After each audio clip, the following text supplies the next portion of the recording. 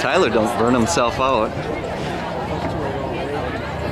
Yes, just ran into him. What are you doing? On the outside. There you go. Third, third place. Third place off the track. Not on the corner. Come on, Alex. Not on the corner. Wait till it's stretched. Come on, we'll talk about that.